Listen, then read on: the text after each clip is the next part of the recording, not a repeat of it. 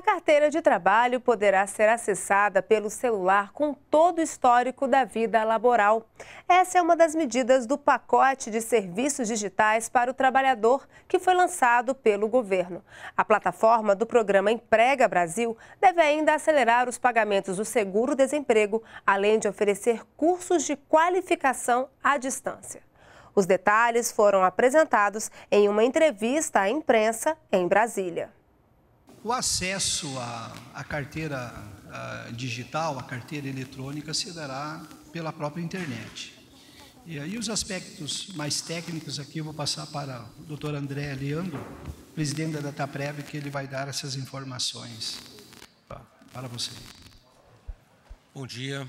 É, o acesso, então, como informado pelo ministro, ele estará de forma plena em todo o território nacional, que vai, ver, vai ser via internet. O procedimento é, além de fazer download né, do aplicativo, tanto na plataforma Android como iOS, é, é necessário fazer um fator de autenticação dos seus dados para poder dar validação das bases de dados do governo.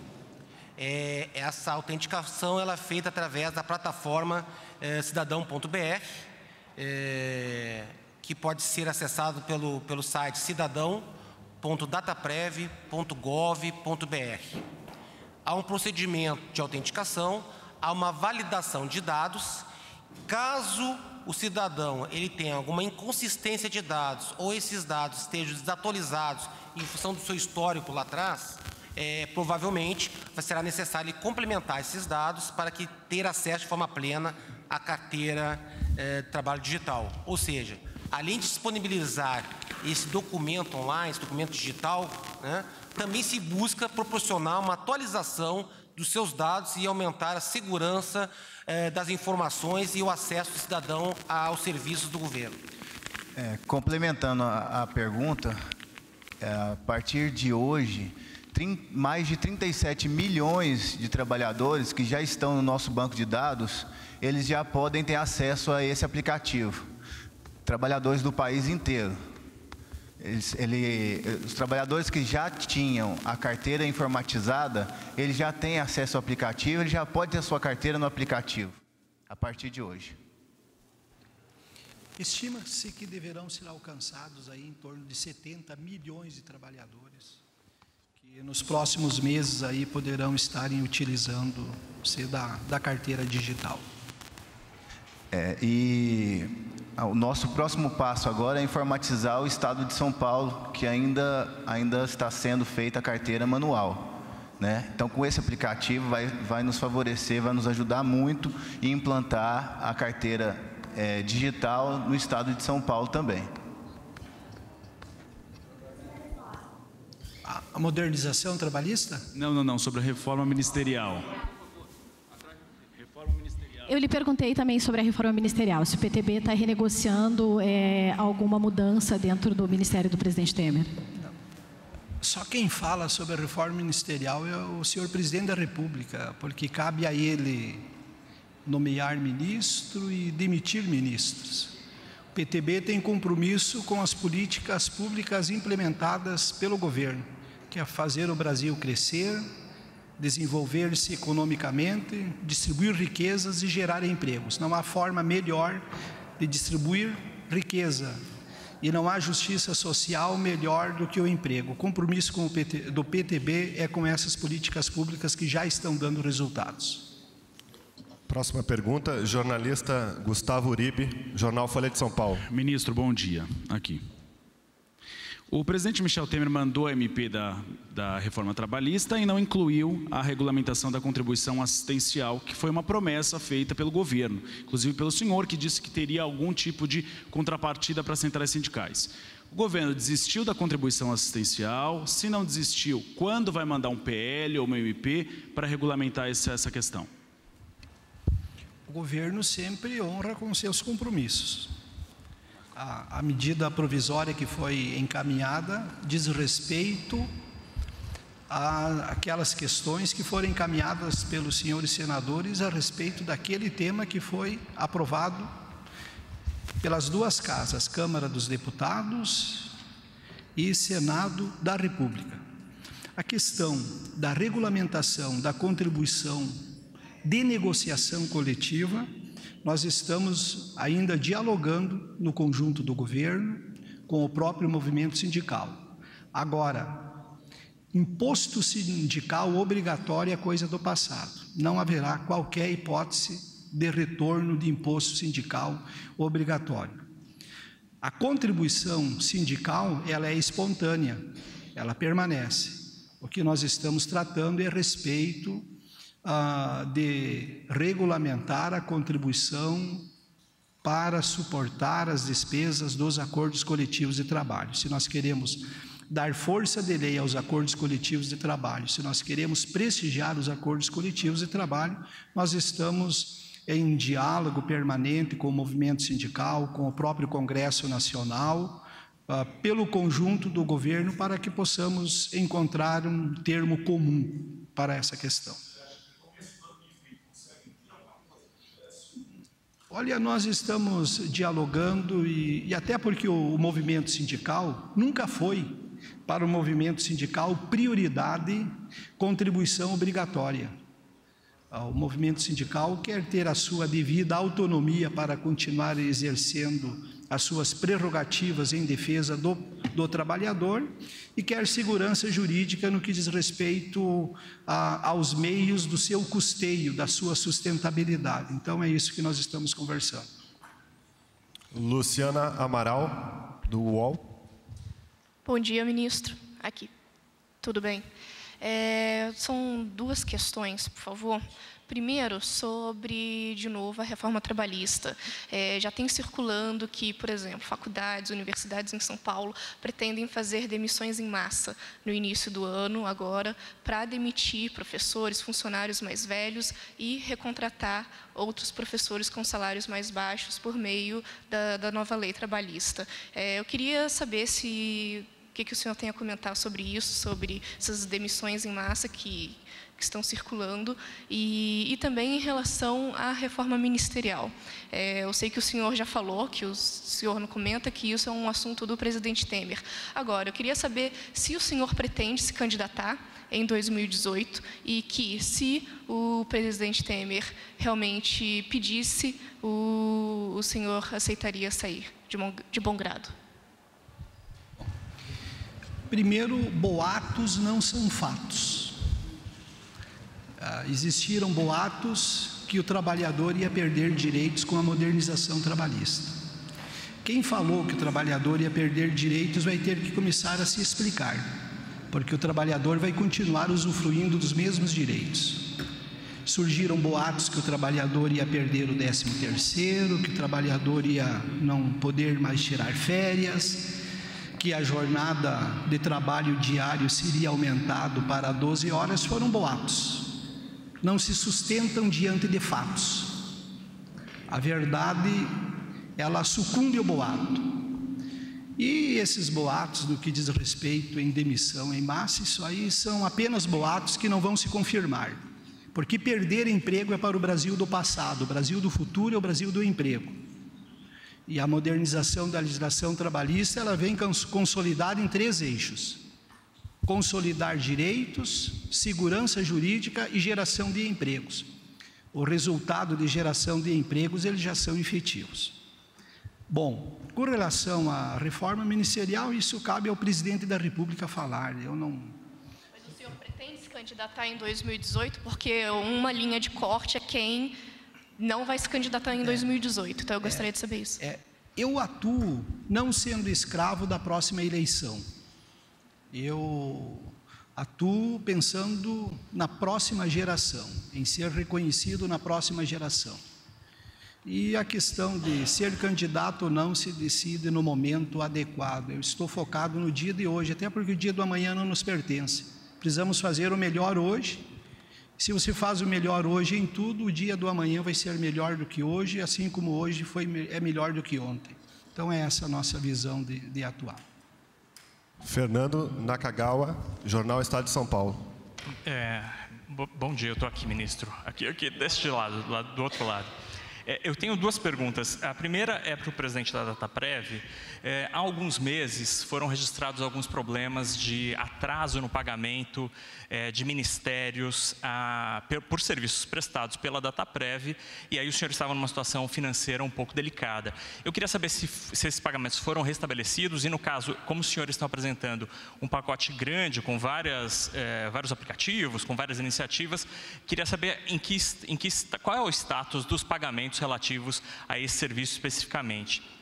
E ao ministro Nogueira, eu tenho duas perguntas, ministro, aqui é, é, sobre a, a reforma. É, a primeira delas diz respeito a, ao trabalho intermitente, ao contrato intermitente. É, já estão surgindo algumas vagas é, nessa nova categoria, pra, no varejo, por exemplo, para contratos de folguista, enfim, com, com carga reduzida. eu queria entender melhor como serão os benefícios e a previdência sobre essas vagas, já que a legislação prevê uma contribuição contribuição adicional do trabalhador. E dependendo da carga horária, essa contribuição adicional, se mantidas as regras atuais, seria maior do que o próprio salário. Então, às vezes o, o caixa do supermercado ganha ali 150 reais, e teria de contribuir com 160 reais. Então eu queria entender como fica a situação desses trabalhadores é, intermitentes. E uma outra coisa que eu queria ouvir o senhor é, que, é sobre o movimento nas varas do trabalho na primeira semana é, da reforma. A, a, o número de, de, de ações protocoladas diminuiu bastante. É, em 90% em alguns casos. Eu queria saber do senhor se essa tendência tende a prevalecer e se foram equivocadas as previsões de judicialização é, dos contratos de trabalho. Obrigado. Ah, bem, primeiro com relação ao trabalho intermitente. Né? Ah, o trabalho intermitente é uma realidade nos países modernos onde existe o pleno emprego. E a realidade é que nós temos brasileiros querendo ir trabalhar nesses países e muitos desses brasileiros que vão ah, formalizam um contrato de trabalho nesses países é pela modalidade do trabalho intermitente. E nenhum deles quer voltar para cá e eu não vejo, por exemplo, nem um jovem americano, um jovem alemão querendo vir trabalhar pelo, aqui no Brasil. É o inverso, é brasileiros querendo ir trabalhar nesses países e lá querem ficar. Com relação à contribuição ah, do, do INSS, pelo número de horas do serviço prestados, a contribuição nunca poderá ser inferior a um salário, a, ao equivalente a um salário mínimo. Que o número de horas você divide pelo número de horas nunca pode ser menor do que o valor hora remunerado por categoria ou, ou o salário mínimo e, a, e assim. O trabalhador hoje ele já contribui com uma parte. E o, o, e, o contrato, e o trabalhador do contrato de trabalho intermitente também ele vai contribuir da mesma forma. A grande diferença aqui é que hoje nós temos no Brasil em torno de 48 milhões de pessoas na informalidade.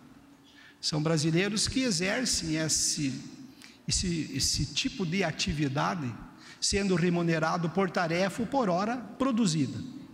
Porém, esses trabalhadores estão na informalidade e não têm nenhuma garantia de, de direitos trabalhistas a eles ou de segurança no que diz respeito à, à própria previdência.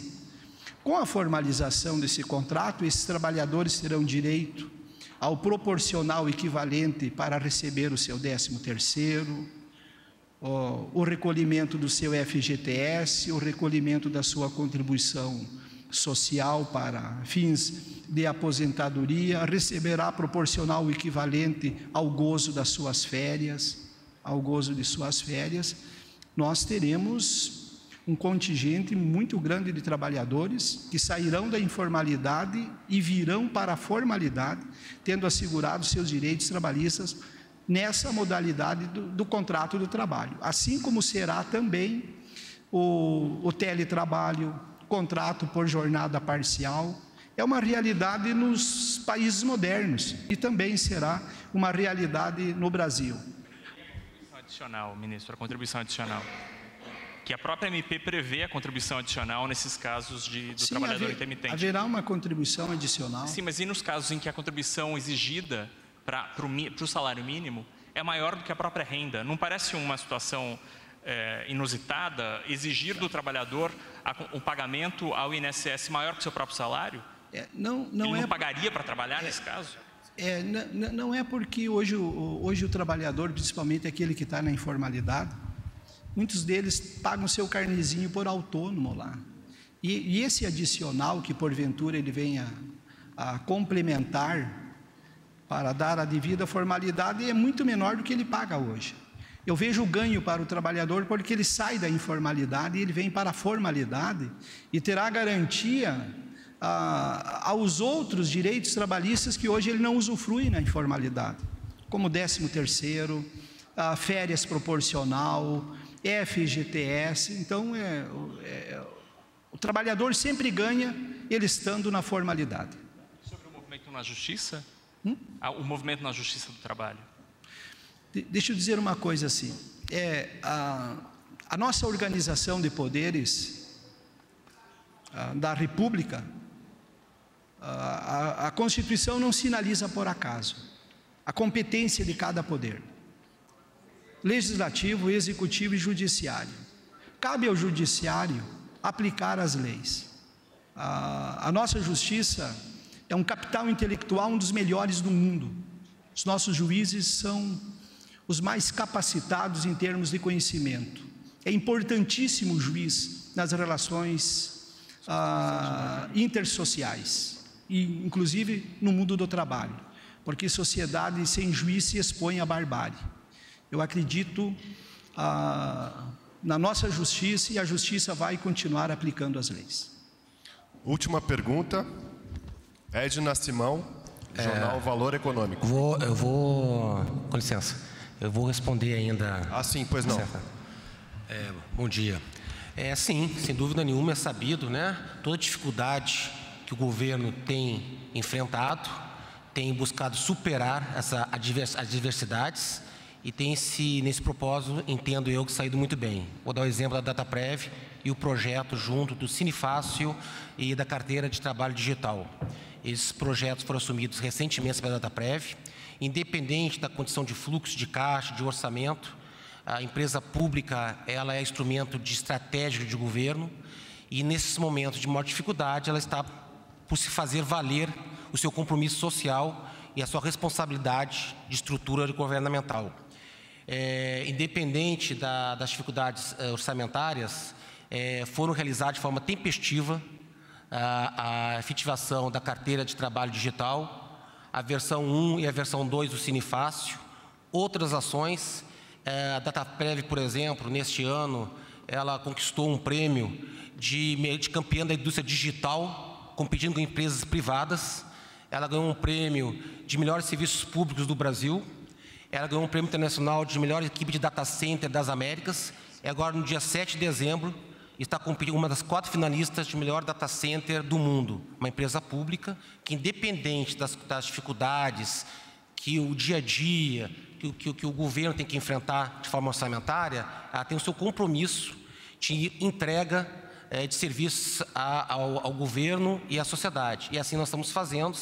E foi esse exemplo agora do, da carteira de trabalho digital de Cinefácil e outros produtos que, independente da dificuldade de fluxo, ela está entregando e o compromisso de uma empresa pública é esse, de entregar serviços de qualquer dificuldade e superar todos Desculpa eles. Desculpa a provocação, e, presidente. Posso fazer o papel de advogado do diabo? Pela frase que o, senhor, que o senhor citou agora quatro vezes, eu posso entender então que o Ministério do Trabalho não está pagando em dia a data prévia por esses serviços. Não, o Ministério do Trabalho está buscando honrar alguns pagamentos, obviamente estão sendo feitos, outros estão sendo feito uma, um, um fluxo de caixa do Ministério do Trabalho, dos demais ministérios, ou seja, nada que impeça a prestação de serviço de forma tempestiva e com qualidade por parte da empresa. E, e só complementando, André, essa parceria, o, o tanto importante ela é para o trabalhador, é que um aplicativo que, que tem um valor de estimadamente aí de 300 mil reais, né, que foi o que, que nós pactuamos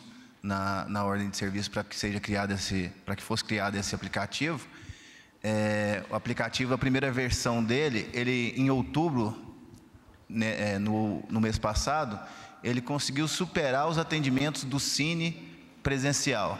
O aplicativo do Cine Fácil já encaminhou mais, em outubro, ele encaminhou mais trabalhadores ao mercado de trabalho do que o, o Cine presencial.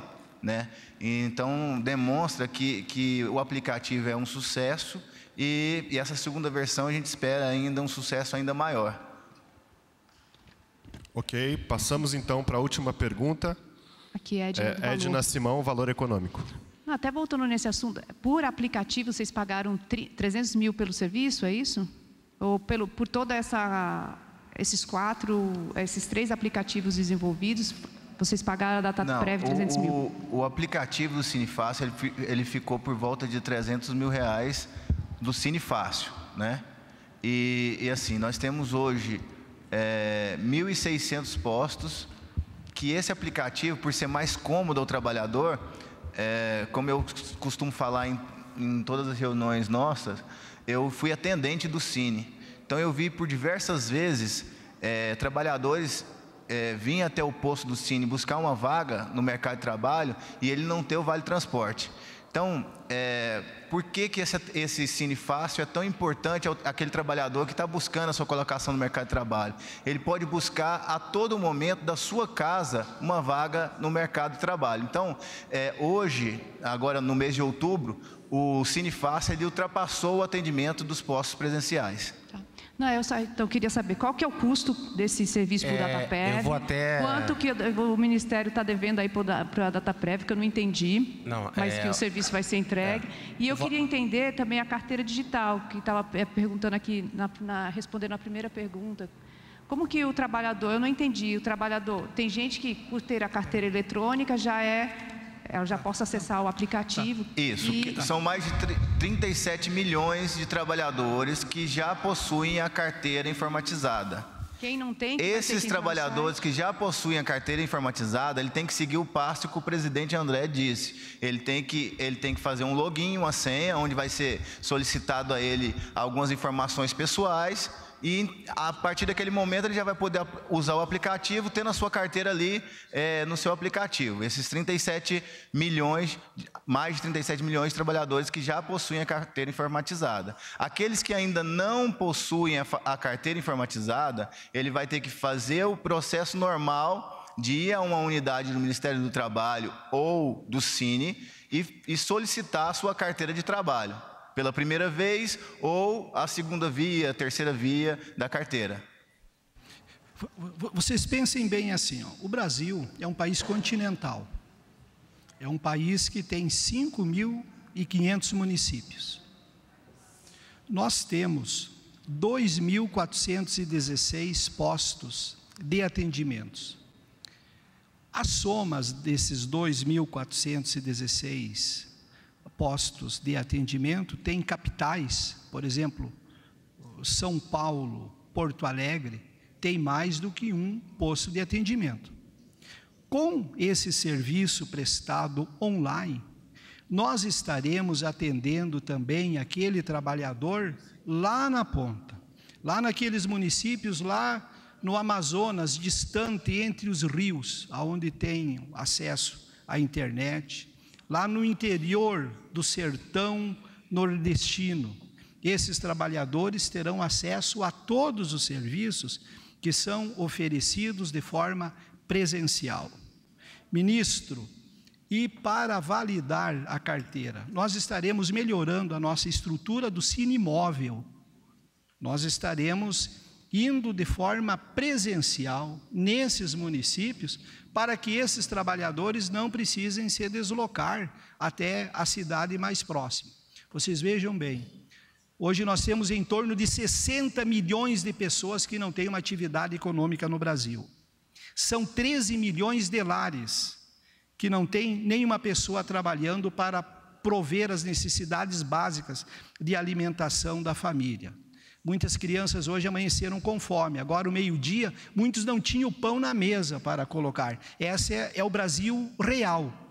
E nós estamos promovendo políticas públicas para ir ao encontro desses trabalhadores, através da qualificação à distância, a escola do trabalhador. Esses trabalhadores serão qualificados lá nas suas próprias casas, custo zero, sem nenhum custo. Nós estamos oferecendo a eles, através do, Cine, do Cine Fácil, através do seu celular, ele ter acesso aos números de vagas que são oferecidas pelo mercado. A intermediação será feita pelo próprio Cine Fácil. A sua carteira de trabalho será digital no seu próprio celular e para validar todos esses serviços, nós estaremos melhorando as nossas estruturas do, do Cine Fácil para que nós possamos ir até esses municípios para fazer a devida validação. É um ganho para o trabalhador, é um ganho para o empregador, é um ganho para o Brasil. Ganha a sociedade brasileira. O é, conjunto ah, do, do fluxo financeiro do Ministério do Trabalho, nós estamos tomando medidas de boa governança e gestão. Boa governança e gestão.